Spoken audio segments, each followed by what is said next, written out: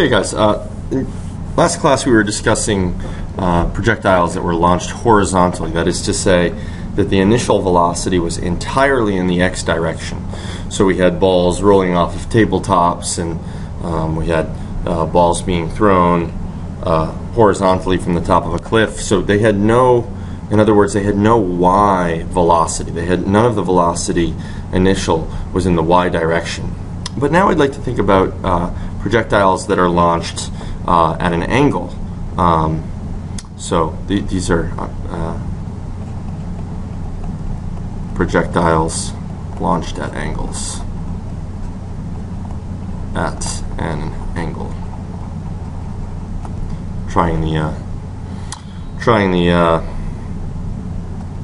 white background today. We'll see how we like that. Projectiles launched at an angle. So this is going to be a little bit trickier. There's an extra step um, involved in doing these problems uh, because, again, the initial y velocity is not zero. So, for instance, um, let's imagine a scenario. We'll just get right into a problem and you'll, you'll quickly see uh, the difference here. Let's imagine that we've got the ground here.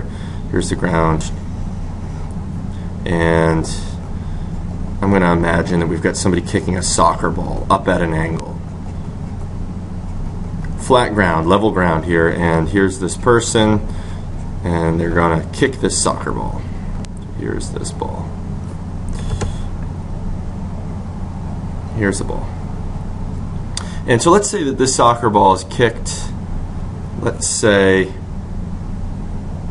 at an angle, theta, above the horizontal. So this, this angle is above the ground, right, with respect to the ground. And it's kicked at some, some velocity v initial. Okay, so launch v initial at some angle theta, and let's let's go ahead and flesh that out. Let's say that the uh, initial velocity kicked with is 25 meters per second, and let's say it's kicked at an angle of I don't know 38 degrees. Okay, and the we, you can probably get some kind of a uh, an intuition for what's going to happen here. The ball is going to take a path that looks like this. It's going to go up and then down like this. Something like a parabola. And in fact, next class, we're going to see that this is in fact exactly a parabola. Um, I'm going to prove that too. Although, as I drew it, it doesn't look all that much like a parabola. Let's try that again. It's a little bit more like a parabola, I guess. Um, and so there's a few things that we might ask, right? The ball's going to end up over here. There's a few things that we might ask. The first thing that you might ask is, how far does it go? So, um, how far does it go? Does the ball go?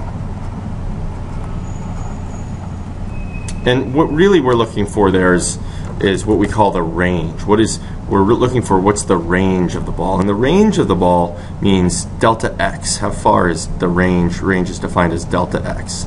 So what we're, what we're looking for here is what is this delta x from the starting point to where it lands on the ground. And right away, hopefully we can see that the equation for delta x, hopefully we remember, is v sub x times t. Right, this is our constant velocity equation, uh, v sub x times t. Um, and uh, don't get this confused, we're going to have different equations right in the y direction. Remember, I can use the constant velocity equation when I'm in the x direction because velocity in the x direction is constant. But immediately we have to ask ourselves, well, what is v sub x? What is this? Because this isn't given. This is not 25 meters per second. The 25 meters per second is the total velocity which is launched at an angle. So to figure out v sub x, I've got to do a little bit of work. Um, so in particular, v sub x is going to be this, right? It's going to be the component of the velocity in the x direction. There's also a component of the velocity that's in the y direction. And in order to figure out these two velocity components, I'm going to have to use this angle theta. So our vector math is going to come in uh, come come in handy here. So I'm going to say v sub x is equal to v cosine theta, right? Since since theta is given relative to the horizontal, the x component is the adjacent leg, so I use cosine, and this is going to be 25 cosine 38. Um, which I've done out, that's, that's about 19.7. So this right here is 19.7. That's V sub x. V sub y is going to be 25 sine 38. V sine theta. 25 sine 38, which I've done out and determined that's 15.4. That's going to be important in a minute, so I'll write that out. Okay, so here are, this is the initial y velocity right here, and this is the x velocity. Now remember, this is going to be constant. This one's going to, this one isn't going to change, right? The 19.7 will remain throughout the entire time. This one will change because it's in the y direction, so there's some acceleration in the y direction. So let's go back to calculating delta x. Well, delta x, we said was v sub x times t. So that's going to be, in this case, v sub x we found 19.7 times t. But in order to figure out t, I've got to I've got to think about uh, the displacement in the y direction, right? It's the y dimension that, it, that, that determines how long the ball is going to be in the air for. So if, before I can before I can go any further, I've got to figure out what t is, right? And once I know t, then I can plug it in and calculate. So now we have to find t. Uh, so finding t comes from delta y. Well, first of all, let's figure out what is our delta y. Well, it starts on the ground, it ends on the ground, so delta y equals 0. And what's our equation for delta y? Well, remember, I'm gonna, I'll write it over here.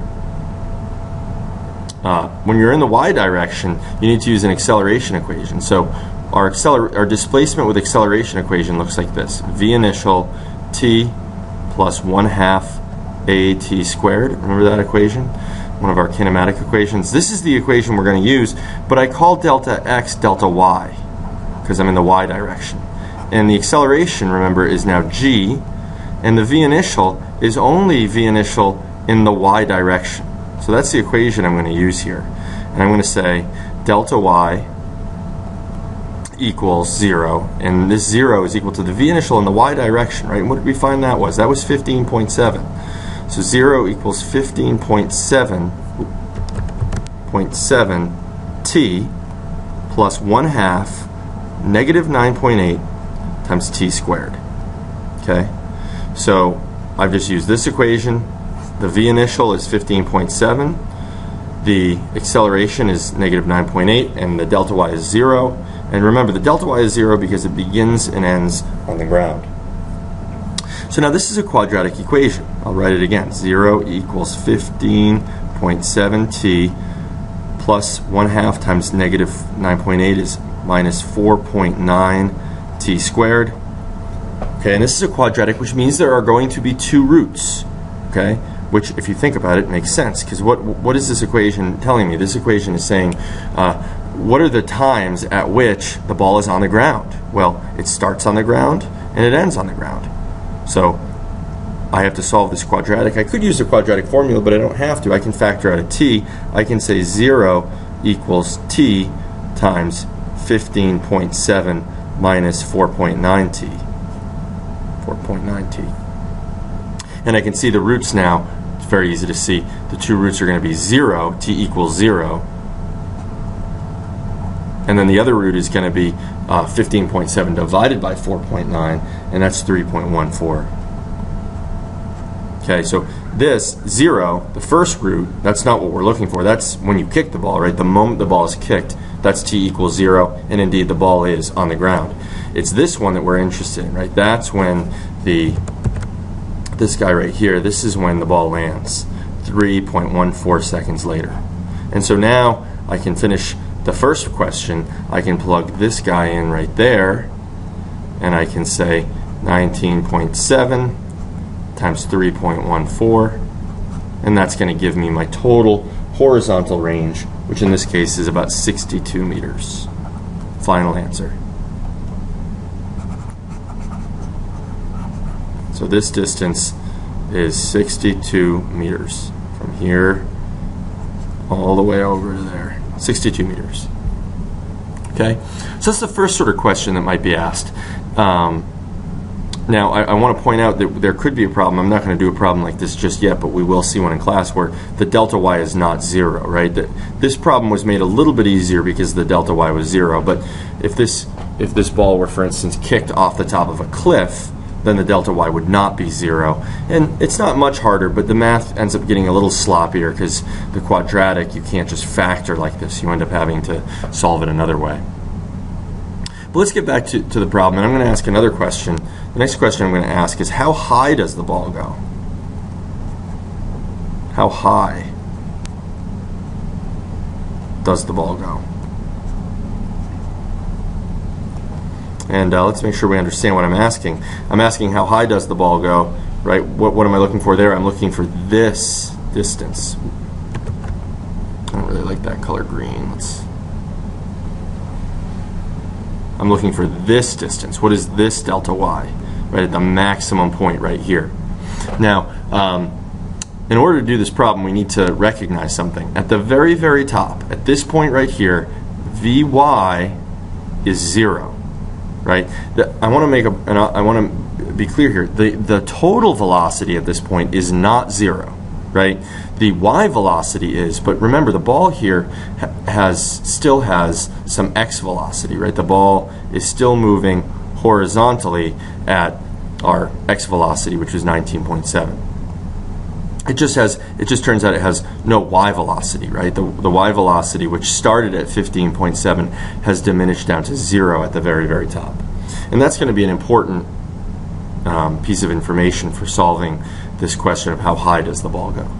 Um, well how would we do this? Uh, your, your first instinct might be okay well maybe I can figure out the time it takes to get to the top which you could you could figure out the time. It's going to turn out to be exactly half of this time. It's going to be half of 3.14. Um, so you could use, you could go back and have used this equation to find time.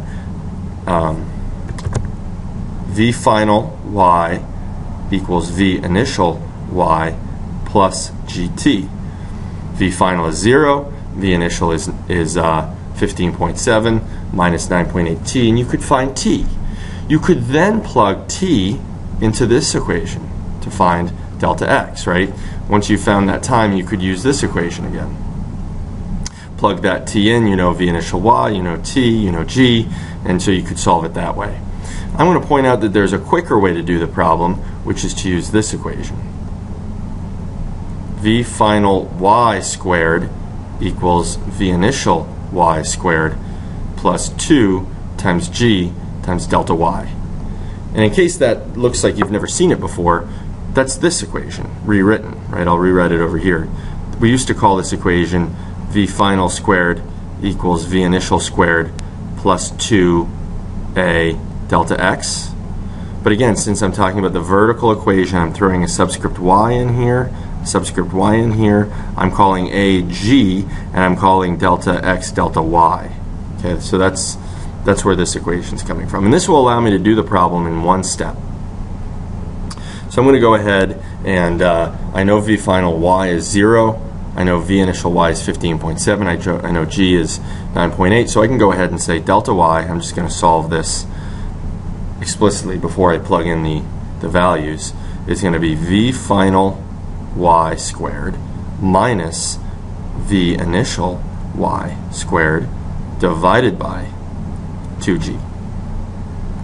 Okay, so right there, I know all of these values, so I can go ahead and solve now. I can say delta y is the final velocity of y squared, that's 0 squared, minus the initial, which was this 15.7 right here, that was the initial y, minus 15.7 squared over 2 times negative 9.8 squared.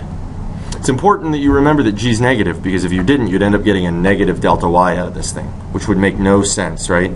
If you got a negative value, that would imply that the maximum height was below the starting point, which that I think is pretty clearly nonsensical. So you do this out, and you should get about 12 meters. I think it ends up being 12.1 meters. Final answer. Okay, so we were able to now do that just in one step. So this height right here, this delta y, is 12, sorry, 12.1 meters. Right, so that's a, uh, an introduction to these problems where projectiles are launched at an angle. Um, the uh, the main difference here is uh, that the initial y velocity is not zero, and moreover, you have to find. In many cases, you need to find the x and y velocities from the get-go. Um, I will point out that it could be the case um, where that the projectile is launched down at an angle. You can go through the exact same logic and and work through a, a problem where the projectile is launched at an angle downward. Sometimes the delta y, I mentioned, sometimes the delta y is not zero, so we will see some tricky problems where delta y is not zero. Um, but in general, the problems have this form. So we'll, uh, we'll be do, doing more practice with this in class tomorrow.